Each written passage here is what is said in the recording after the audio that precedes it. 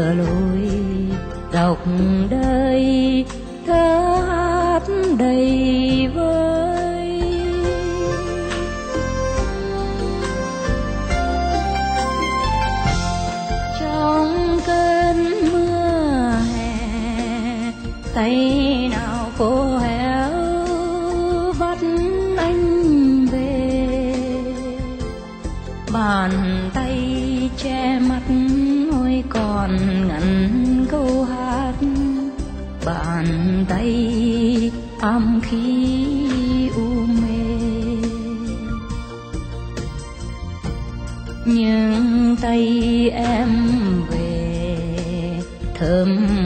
多贵。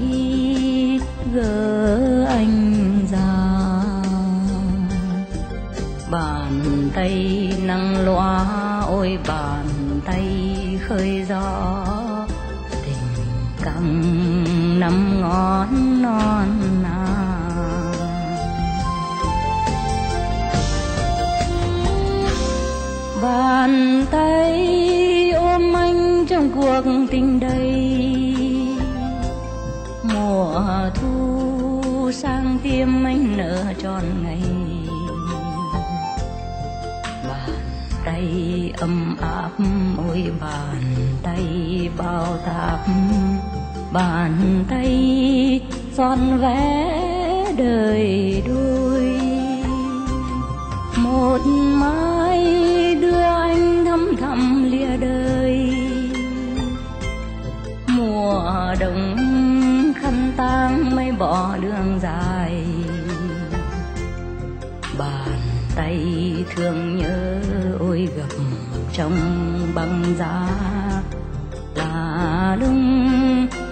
khép lại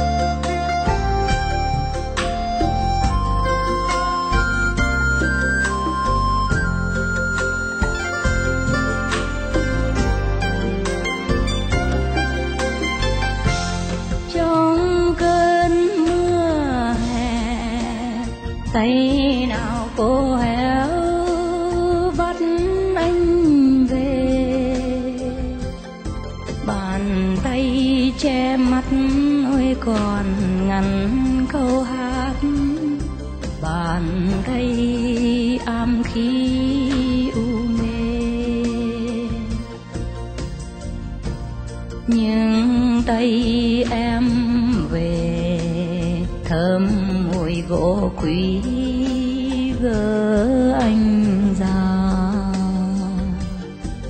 Bàn tay nắng loa, ôi bàn tay khơi gió. Tình căng năm ngón non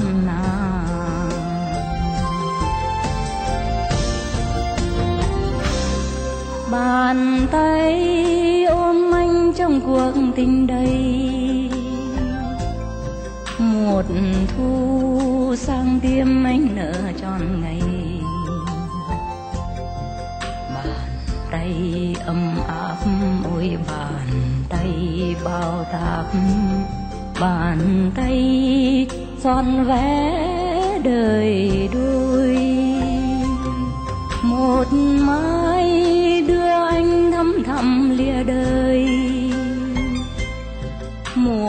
đồng khăn tang mây bỏ đường dài. Bàn tay thương nhớ ôi gập trong băng giá là lung. Thấy khẽ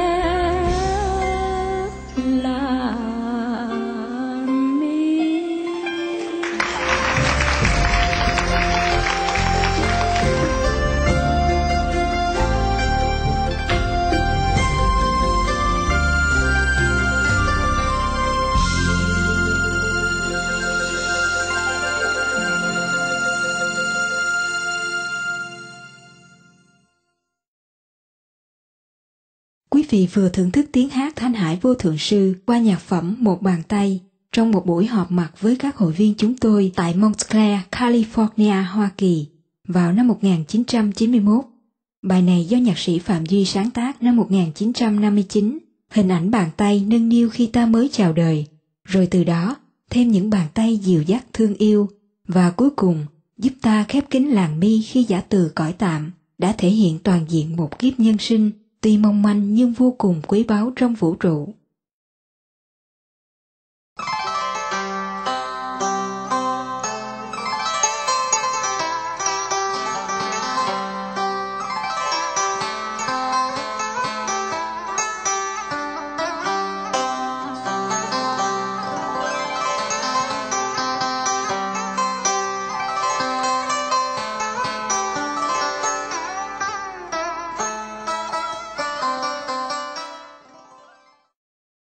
Today's A Journey Through Aesthetic Realms Music and Poetry will be presented in Aulaxese or Vietnamese with subtitles in Arabic, Chinese, English, French, German, Hungarian, Italian, Japanese, Korean, Persian, Portuguese, Spanish, and Russian. Chương trình thơ nhạc tình yêu và tâm linh là tiếng nói của những tâm hồn tràn đầy khát vọng yêu thương và hiến dâng. Chan hòa trong mỗi tình huống của những cảnh đời trầm luân và hệ lụy. thơ và nhạc, tình yêu và tâm linh là cung điệu của tấm lòng từ ái, âm vang nỗi thiết tha độ lượng, mênh mang giữa đất trời, giữa cao cả và đắm chìm, giữa lồng lộng và trùng vây, giữa si mê và liễu ngộ. Thơ và nhạc, muôn đời vẫn là tiếng nói chân thành của trái tim rộng mở. Chuyên chở nhân gian qua cõi mịt mù, để từ đó thăng hoa những tâm hồn hướng thượng và xiển dương cho những giá trị tâm linh cao cả của thân phận con người. Trong giây phút này, kính mời quý khán giả lắng tâm tư, chan hòa trong dòng suối âm thanh của chương trình Thơ nhạc tình yêu và tâm linh qua những thi phẩm và nhạc phẩm của Thanh Hải Vô Thượng Sư và các nghệ sĩ tài danh như nhà thơ Đinh Hùng, Quy Cận, Vũ Hoàng Trương, Lưu Trọng Lư, nhạc sĩ Phạm Duy, Trịnh Công Sơn, Trần Quang Lộc, Nhật Ngân,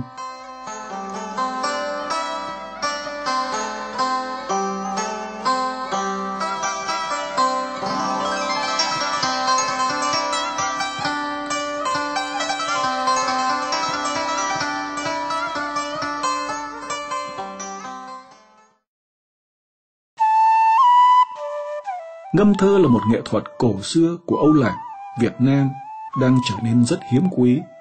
Trong thời hiện đại, thật là một điều quý giá mỗi khi chúng ta có dịp được thưởng thức qua giọng ngâm của những nghệ sĩ tài danh và thanh hải vô thượng sư. Từ thời niên thiếu, Thanh Hải vô thượng sư đã vô cùng yêu chuộng thơ văn. Khi còn trong tuổi học sinh tại Âu Lạc, Ngài đã rất trân quý thể loại văn chương tao nhã này.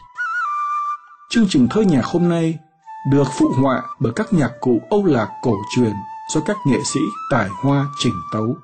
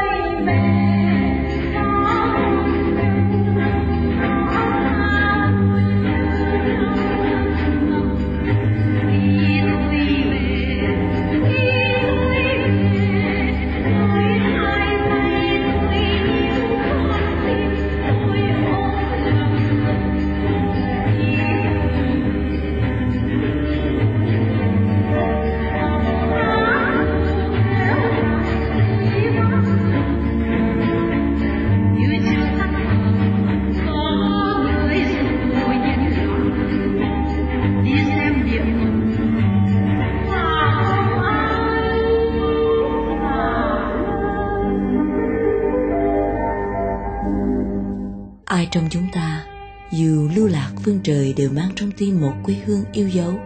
Ai trong chúng ta, dù đã phiêu lưu qua ngàn vàng dặm, cũng đều mong có một ngày quay lại cố hương. Đó là điều mơ ước, đó là nỗi hoài mong. Khi tôi về, con chim câu nằm trong tổ ấm, dây thép gai đã hết rào quanh đồn phòng ngự. Trong thời buổi chinh chiến điêu linh, non sông ngập tràn khói lửa, trong lòng kẻ chiến binh nào cũng mơ đến một ngày quê hương thanh bình. Trở lại mái nhà xưa, con đường cũ, lũy tre xanh, bên cạnh mẹ già, em dài.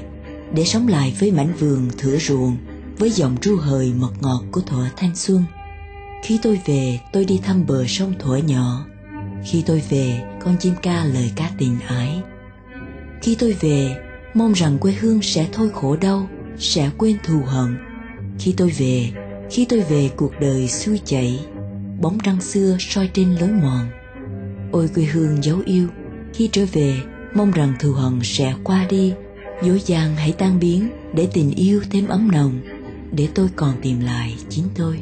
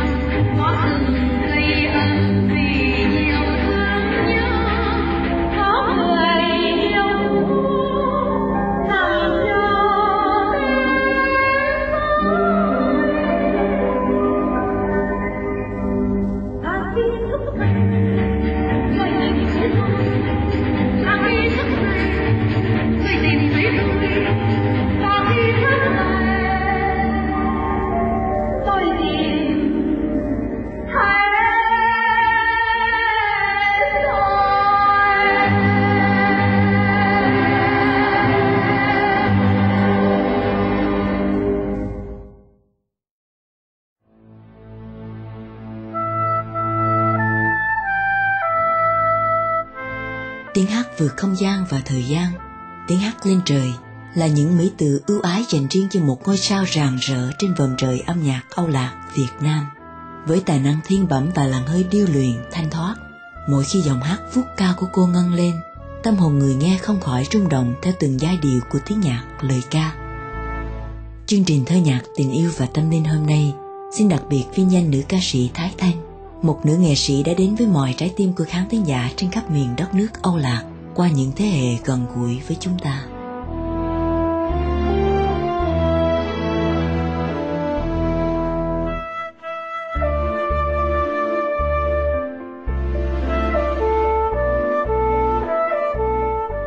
Nữ danh ca Thái Thanh tên thật là Phạm Thị Băng Thanh, sinh năm 1934 tại làng Bạch Mai, Hà Nội. Cô là con gái út trong một gia đình gồm 5 anh em. Anh cả là Phạm Đình Sĩ, thành hôn cùng kịch sĩ Kiều Hạnh. Ái nữ là ca sĩ Mai Hương. Anh thứ là Phạm Đình Viêm tức ca sĩ Hoài Trung. Chị là Phạm Thị Quang Thái tức ca sĩ Thái Hằng. Anh thứ tư là nhạc sĩ Phạm Đình Trương tức ca sĩ Hoài Bắc.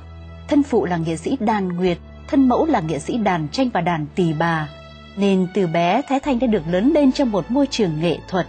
Năm 12 tuổi cô cùng gia đình tản cư vào chợ đại, rồi Thanh Hóa, nơi chị cô là Thái Hằng, thành hôn với nhạc sĩ Phạm Duy. Nhạc phẩm Dòng Sông Xanh của nhạc sĩ Johann Strauss đệ nhị, người Áo đã được nhạc sĩ Phạm Duy đặt lời Việt dành riêng cho tiếng hát Thái Thanh khi cô lên 14 tuổi, là năm đầu tiên cô bắt đầu trình diễn trước công chúng về việc tập luyện bản Dòng Sông Xanh là một nhạc phẩm tương đối khó trình bày. Cô đã chia sẻ như sau. Lúc đó mình chưa có trường quốc gia âm nhạc, chưa có ai mở khóa huấn luyện hát. Tôi chỉ có thể nghe đàn bài nhạc và với tuổi 14 mà tôi hát được bài đó. Tôi nghĩ phần lớn do thiên phú. Ngay cả chuyện phát âm, trước hết tôi đọc lời ca cho đúng và khi hát tôi phải phát âm như lúc tôi đọc chứ không thể để chữ nọ sọ chữ kia. Tôi nghĩ rằng chuyện phát âm tiếng Việt một phần tôi có được cũng là chút năng khiếu trời cho. Thái Thanh cũng là một ca sĩ với kiến thức nhạc lý vững vàng. Cô cho biết. Nhạc lý cũng như là xứng âm, tôi đã phải đặt mua sách từ bên Pháp. Theo đó tự học, có gì khó thì hỏi anh Phạm Đình Trương. Anh Trương là thầy dạy tôi. Anh có lần nói, cô có cái đặc biệt là trước khi tôi dạy thì cô đã biết rồi. Thái Thanh là một thành viên trong ban hợp ca Thăng Long được thành lập cùng các anh chị em trong gia đình là Hoài Trung, Hoài Bắc và Thái Hằng. Đây là tên do song thân của cô đặt vì tất cả ban trong hợp ca đều chào đời tại Hà Nội, xứ Thăng Long, ngàn năm văn vật. Năm Thái Thanh lên 16 tuổi thì gia đình cô cùng nhạc sĩ Phạm Duy trở về Hà Nội và sau đó vào Sài Gòn. Bắt đầu từ thập niên năm 1950 tại miền Nam, tên tuổi Thái Thanh đã nổi bật Tiếng hát của nữ danh ca Thái Thanh thường được xem là gắn bó với những sáng tác của nhạc sĩ Phạm Duy, Phạm Đình Trương, Văn Cao qua những ca khúc như Tình ca, Tình Hoài Hương, Hội Trùng Dương, Nửa hồn thương đau, Buồn tàn thu, Bến xuân và còn nhiều nữa. Đặc biệt trường ca Con đường cái quan, một tuyệt tác phẩm do nhạc sĩ Phạm Duy sáng tác từ năm 1954 đến năm 1960, miêu tả ba miền đất nước với bao lịch sử hào hùng, nói lên tình yêu quê hương, Tổ quốc của người dân Âu Lạc và trường ca Mẹ Việt Nam do nhạc sĩ Phạm Duy hoàn thành vào năm 1964. Một tuyệt tác phẩm khác của ông ngợi ca tình mẹ, tình yêu quê hương, kêu gọi tình đoàn kết đã được ca sĩ Thái Thanh thu thanh giọng chính vào thập niên năm 1960. Thái Thanh với trái tim dạt dào tình yêu quê hương đất nước và con người nên khi cất tiếng hát đã đặt hết tâm tư cảm xúc của mình vào từng lời ca và đã diễn đạt được ý nghĩa sâu sắc của các nhạc phẩm, dễ dàng thu hút người nghe. Suốt thập niên năm 1960 và đầu thập niên năm 1970 được xem là thời kỳ vàng son nhất của Thái Thanh. Tiếng hát của cô ngự trị trên khắp các chương trình ca nhạc truyền thanh, truyền hình và vô số băng đĩa, thầu ầm. Nữ danh ca Thái Thanh tuyệt vời trong nhiều phương diện. Một điều đáng kể là phong cách đa dạng của cô. Cô từng nói Bảo rằng thích đặc biệt một nhạc sĩ nào thì câu trả lời là không. Thích một bài hát nào thì tôi hát bài đó với tất cả tâm hồn, không cứ bài đó là của ai. Từ Thu sầu của Lam Phương, Ngàn thứ áo tím của Hoàng Trọng, rồi mai tôi đưa em của Trường Sa, Tuổi đã buồn của Trịnh Công Sơn, Hải ngoại thương ca của Nguyễn Văn Đông, Ô của Văn Phụng, xa ngang của Đỗ Lễ, bài hương ca vô tận của Trầm Tử Thiêng, Thôi của Y Vân đến Duyên Thề của Thanh Trang, Tống Biệt của Võ Đức Thu, Tiếng Xưa của Dương Thiệu Tước, Hoài Cảm của Cung Tiến, Giấc Mơ Hồi Hương của Vũ Thành và rất nhiều ca khúc của các nhạc sĩ khác. Thái Thanh đều trình bày một cách tuyệt hảo. Nhà văn Thủy Khuê đã nhận định như sau về nữ danh ca Thái Thành. Chúng ta có nhiều nghệ sĩ sáng tác những nhạc khúc tuyệt vời với ngôn ngữ thi ca, nhưng chúng ta có ít ca sĩ thấm được hồn thơ trong nhạc bản. Đạt tới tuyệt đỉnh trong ngành trình diễn, Thái Thanh nắm vững cả bốn vùng nghệ thuật, nghệ thuật truyền cảm, nghệ thuật âm nhạc, nghệ thuật thi ca và nghệ thuật phát âm tiếng Việt, giữ địa vị độc tôn trong tân nhạc Việt Nam gần nửa thế kỷ. Thái Thanh chẳng cần làm thơ cũng đã là thi sĩ. Nữ danh ca Thái Thanh chia sẻ Trời cho tôi giọng, trời còn cho tôi hai lá phổi rất rộng.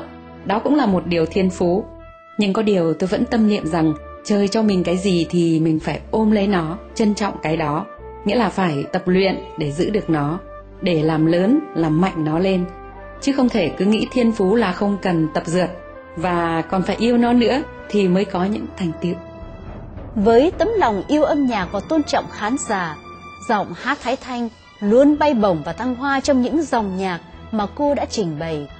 Nhạc sĩ Phạm Duy đã nhận xét Thái Thanh là giọng ca duy nhất hát nổi hai cao độ chạy dài tới hai bát âm trong nhạc của tôi. Không những thế, cô có giọng hát rất truyền cảm dù khi lên thật cao. Nữ danh ca Thái Thanh định cư tại Hoa Kỳ vào năm 1985.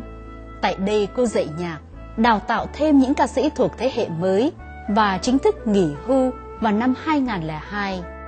Từ cuộc hôn nhân với tài tử Lê Quỳnh vào năm 1956, tuy sự nghiệp và danh vọng lẫy lừng ngoài xã hội, nữ ca sĩ Thái Thanh vẫn làm tròn thiên chức của một người mẹ, dưỡng nuôi năm quý tử Ý Lan, Lê Xuân Việt, Quỳnh Giao, tức Quỳnh Hương, Thanh Loan và Lê Đại, tất cả nay đã thành tài. Riêng hai ái nữ Ý Lan và Quỳnh Hương đã chọn con đường âm nhạc, đều là những nghệ sĩ khả ái, xinh đẹp và thành công. Nữ ca sĩ Y Lan đã nói lên tình cảm gia đình dành cho Thái Thanh, một người mẹ gương mẫu khi cô tâm sự. Tình cảm thiêng liêng của mẹ dành cho tôi là niềm hạnh phúc và cả sự may mắn vô bờ bến. Thái Thanh cũng là một Phật tử quy y từ trên 20 năm qua với pháp danh Nguyên Duyên. Vào năm 2005, danh ca Thái Thanh đáp lòng mong mỏi của công chúng trở lại sân khấu trong một chương trình nhạc thính phòng tại Montreal, Già Nã Đại với tiếng hát của hai thế hệ tiếp nối đó là Ý Lan, Quỳnh Hương và cháu ngoại Ý Thi, Thanh Hương, Quỳnh Trang. Ngày nay, cô Thái Thanh sống hạnh phúc trong tình thương của các con các cháu và sự mến mộ của hàng bao khán thính giả. Trong niềm ngưỡng mộ và trân quý, Thanh Hải Vô thường Sư đã thân ái gửi quà tặng cùng lời chúc lành tốt đẹp nhất của Ngài đến nữ danh ca Thái Thanh. Ngài đã viết, trân trọng kính gửi lời thăm tiếng hát cao quý của Âu Lạc.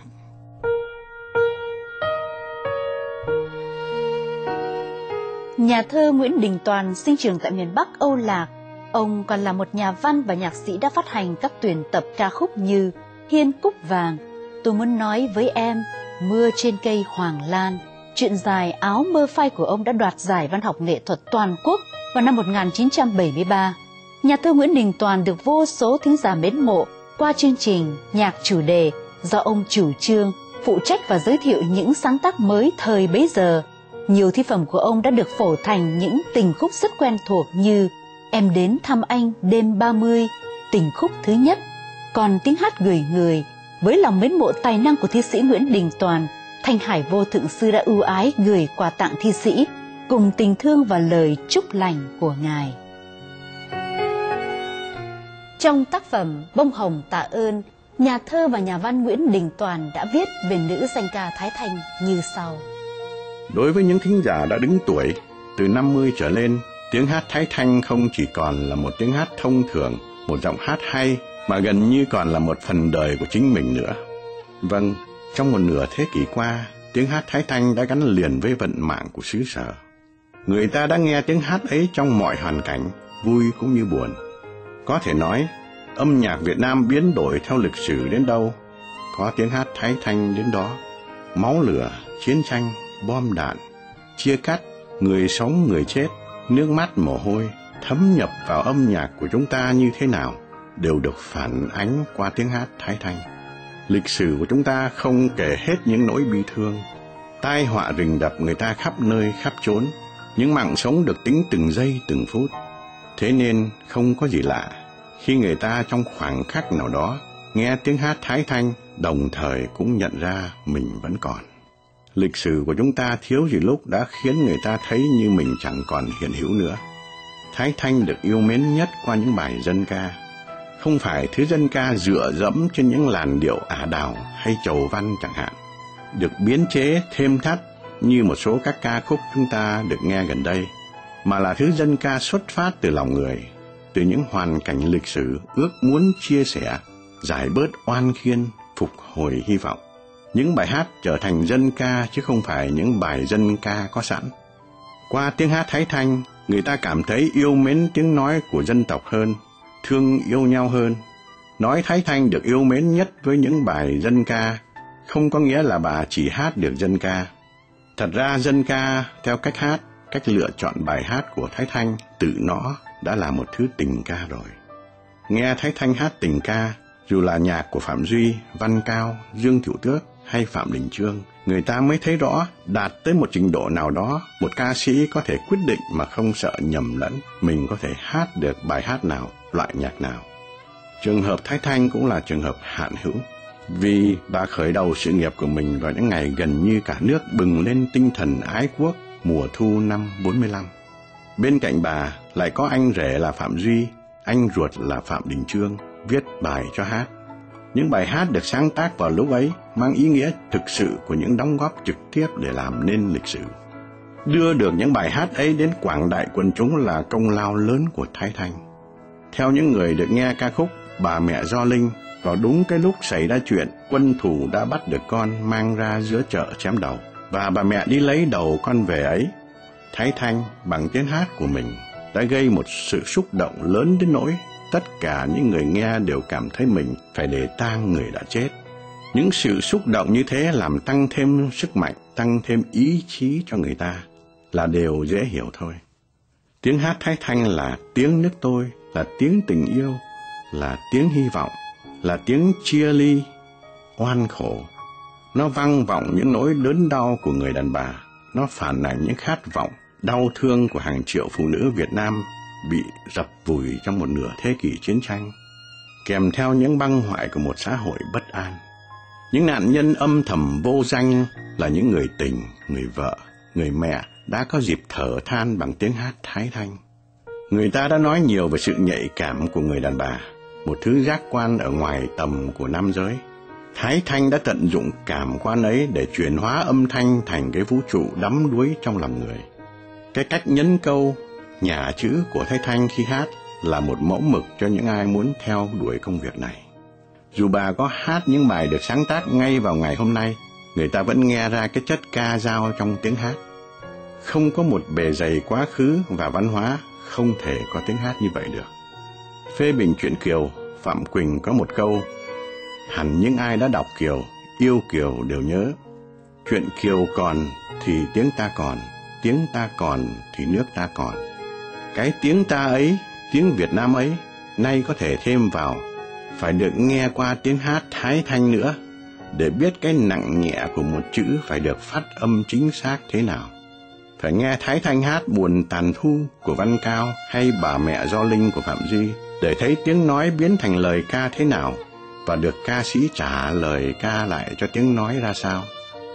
Không có gì bền vững mãi, đó là luật của thiên nhiên giữ vững được tiếng hát của mình trong ngót một nửa thế kỷ không phải chuyện ai cũng làm được. Khó khăn hơn nữa, với hoàn cảnh lịch sử của chúng ta, công việc của một ca sĩ nhiều khi không phải chỉ là hát mà còn phải biết im lặng nữa. Ước mong sao có một buổi gặp gỡ nào đó giữa Thái Thanh và các thính giả trước khi bà ngừng hát hẳn để những người yêu tiếng hát của bà có thể trực tiếp trao tận tay bà mỗi người một bông hồng tạ ơn. Nói tới đây, chúng tôi chợt nhớ đến mấy câu thơ của Tagore xin trích để tặng bà. Tôi đã nhận được lời mời đi vào cuộc lễ trần gian, và như thế đời tôi đã được chúc lành. Phận sự của tôi trong cuộc lễ này là sử dụng nhạc khí, và tôi đã cố hết sức tôi. Thời chinh chiến biết bao kẻ phải ra đi, để lại nơi quê nhà nào mẹ già, vợ dại, con thơ. Mẹ là hình ảnh đậm nét trong lòng kẻ ra đi.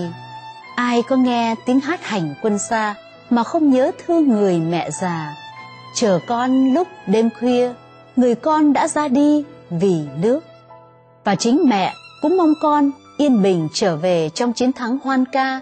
Hình bóng người vợ hiền cũng không phai nhòa trong tâm tư của kẻ trinh nhân ra đi làm nghĩa vụ của người trai thời ly loạn. Ai có nghe tiếng hát hành quân xa mà không nhớ thương người vợ hiền, chồng ra lính biên cương, ngồi may áo cho con, còn nhớ. Những tâm tình đầy ắp của nhớ thương mong đợi trên là những hình ảnh quen thân của một Việt Nam qua suốt những mùa chinh chiến điêu linh, nơi hậu phương mẹ già, vợ trẻ con thơ vẫn cam chịu và hy vọng một ngày yên lành trên đất nước thân yêu để người con, người chồng, người cha trở về sống cạnh lũy tre xanh.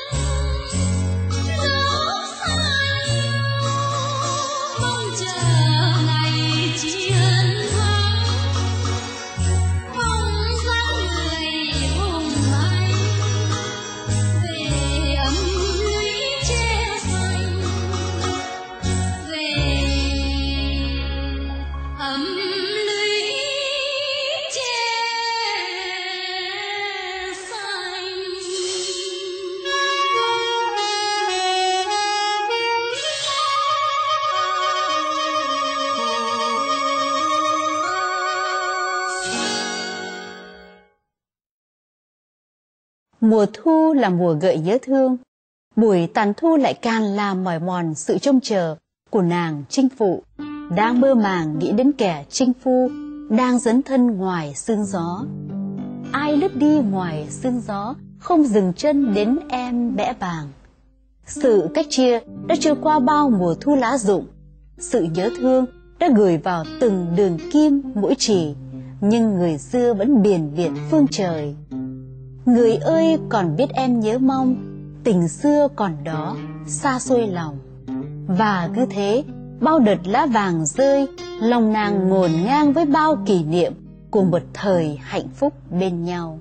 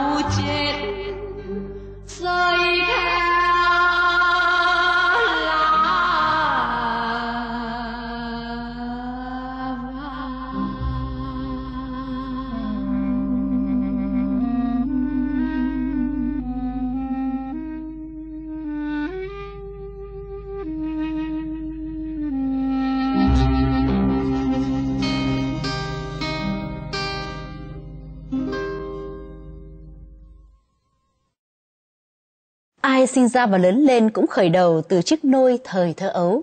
Nơi đây đứa bé đã được nuôi dưỡng không những bởi dòng sữa mẹ, mà còn được đắp bồi bởi giọng hát dịu dàng, ấm áp, lời du ả ơi của người mẹ. Tôi yêu tiếng nước tôi từ khi mới ra đời, người ơi mẹ hiền du những câu xa vời, à à ơi tiếng du muôn đời. Những câu hò tiếng hát đã vang vọng suốt bao thế hệ, bao nhiêu vật đổi sao rời, bao nhiêu mệnh ước nổi trôi đã kết thành tiếng lòng của bao người sống chung cùng với một lịch sử, một quê hương. Tiếng nước tôi bốn ngàn năm dòng dã buồn vui khóc cười theo mệnh nước nổi trôi. Nước ơi tiếng nước tôi tiếng mẹ sinh từ lúc nằm nôi thoát ngàn năm thành tiếng lòng tôi. Nước ơi! Từ tiếng hát đầu đời đó dân tộc tôi đã lớn lên đã trường tồn đã yêu thương chuyện kiều, đã biết ơn sức cần lao của bác nông phu và đã nhớ ơn biết bao tổ tiên. Đinh lê lý trần đã dựng nước, đã mở mang và bảo tồn bờ cõi cho đến ngày nay.